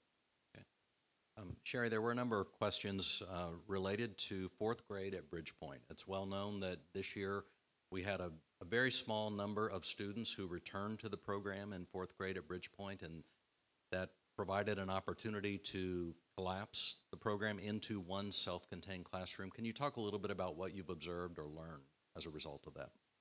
Yes. So I won't point her out, but I think she's here. Um, so she, um, my fourth grade teacher, Miss Flanders, was very instrumental in coming up with the solution. Um, we talked when we could kind of see the writing on the wall as far as numbers go. We were down to 27 students, I believe. And um, my other fourth grade classes were full at 22. And so um, we chatted, and I said, I, I she would want to do math and science in Spanish and then have another math and science block in English. To me, that made perfect sense. But to her, she said, well, actually, that's still for planning preps. That's still for preps. I can't just take what I did in Spanish and transfer it to English, and that would be double the kids. And so I would prefer to do, if I have to do four contents anyway, I'd rather do self contained and keep my students. That will give me the flexibility to go a bit a little bit longer in math if I need to one day and then make up for science the next day. Um, I know that there's been lots of questions too about keeping a cohort of kids together for that long, and I don't disagree with you. That anytime you solve a problem, you generally create another one. And so that's kind of what we and you are tasked with is we want you to recognize that we have these really big challenges and you may not agree with our solution and we're committed to figuring it out. But that was one of the solutions so that we could fix the time issue, so we could fix the instructional minutes issue. Um, but it, it does present a whole new set of challenges. I do think um, it's going well, um, but yes, the same 22 kids are together in fourth grade, and this is year five of them being together. So, you know, there are some things from a social emotional standpoint that we have had to really pour into and, and work out with them. All right, similar to that, and perhaps principals can answer this one as well. What support do teachers need to relieve the issues they're experiencing in the current format? How are resources and best practices being shared?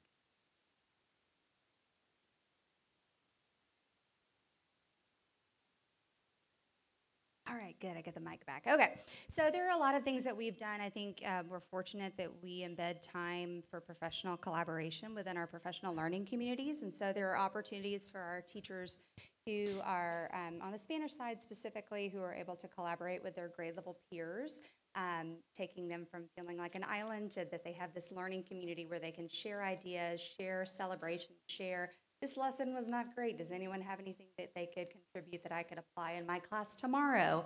Um, I think that continued professional learning um, is something that we all value, not only at our four campuses, but all of our campuses.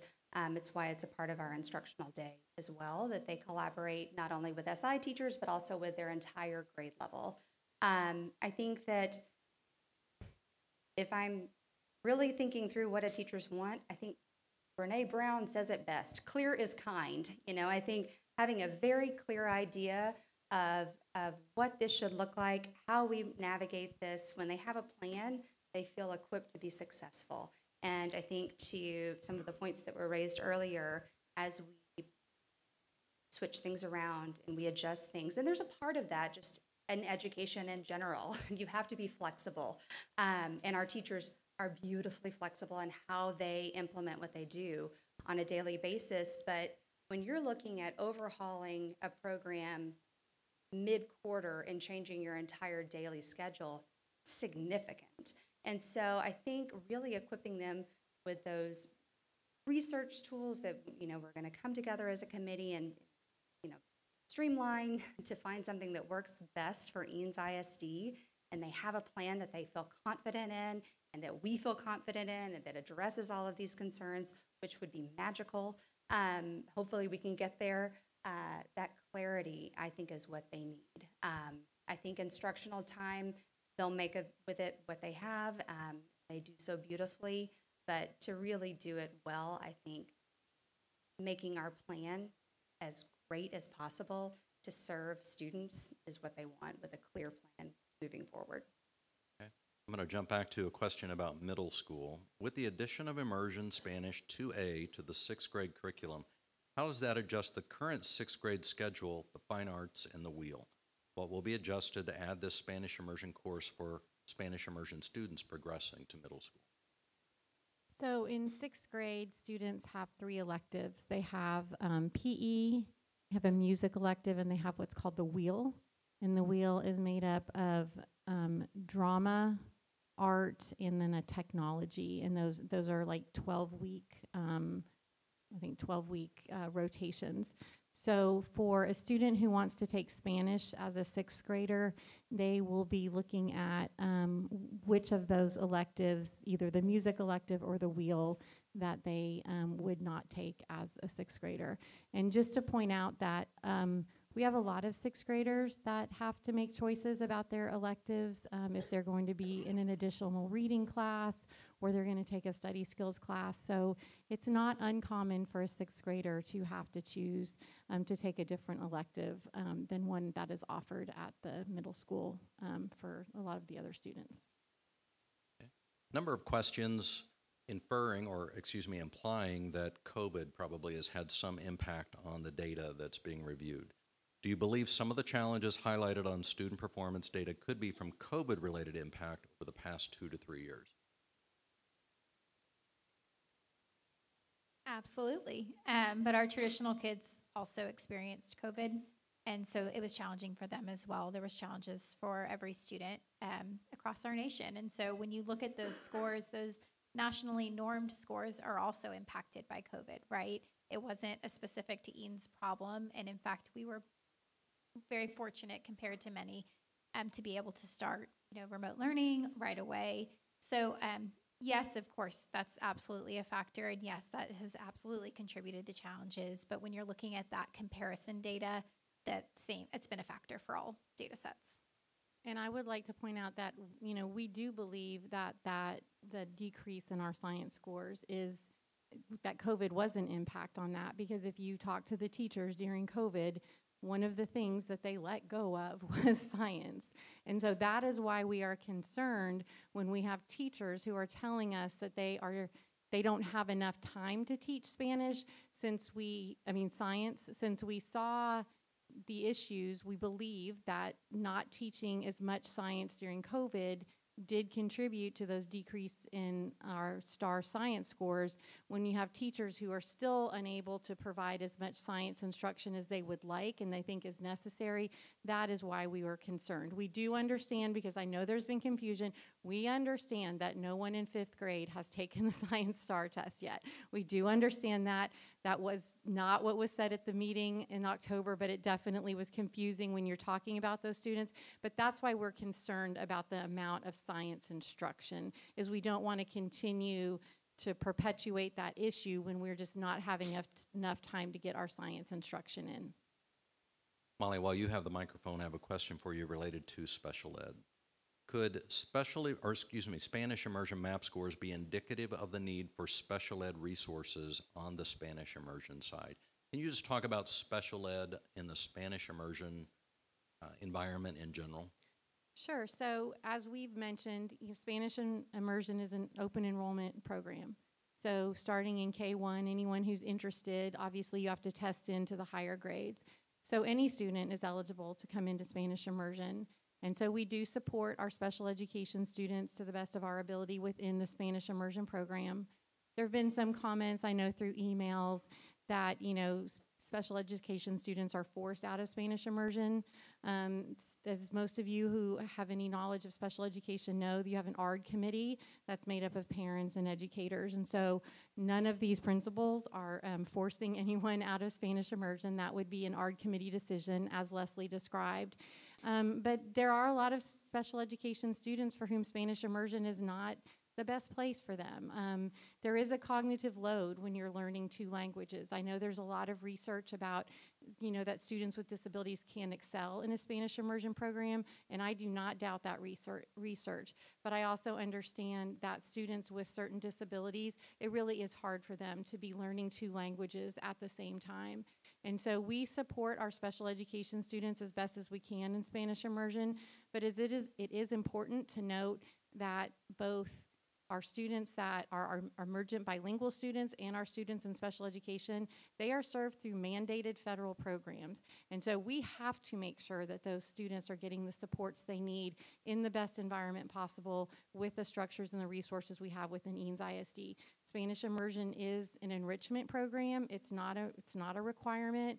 And so when we have a student who we see is needing certain supports or structures and the Spanish immersion program isn't meeting their needs, we do have those conversations with parents. And it is a collective decision on having those students move move out.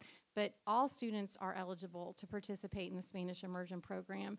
And again, as Leslie alluded to earlier, you know, sometimes you have a student who, or I've heard from some of you, you know, you guys have two or three year olds who you want in the Spanish immersion program, and that's amazing and that's exciting.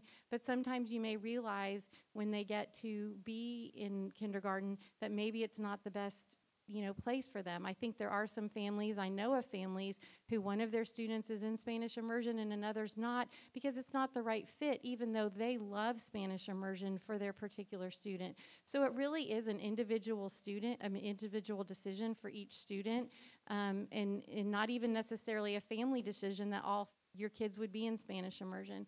But our special education students you know definitely we see in the data the inequities. It is it does end up with a lot of those students being in those traditional sections, um, and we're trying to figure out how to balance and support them as best we can.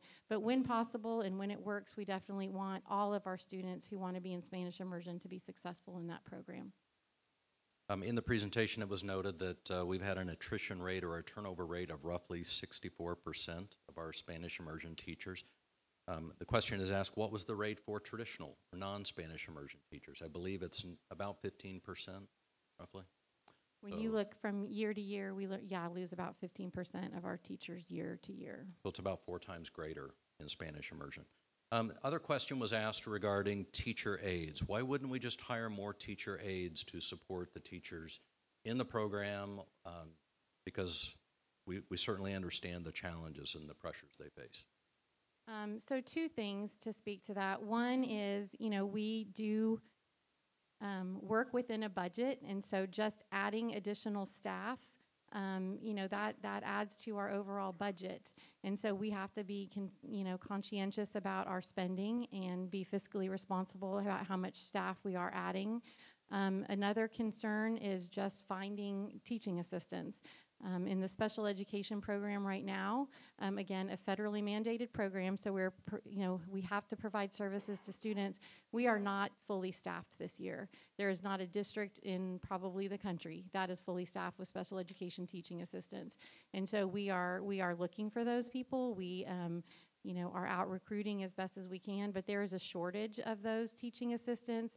Um, we also get a lot of questions about you need to be or asks to hire bilingual teaching assistants, and that is very difficult. I mean, not only can we not find just a teaching assistant, finding someone who's bilingual to come in and, as a teaching assistant is also very difficult. So there's two there's two you know caveats to that. There is you know the financial consideration of just adding more and more staff, and then there also is just um, just recruitment and being able to fill those positions.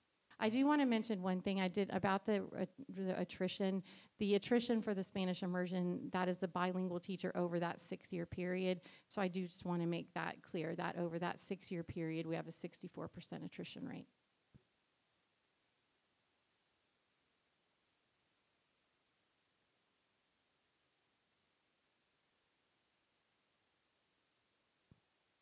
So the apples to apples is about 15% a year for the for the traditional.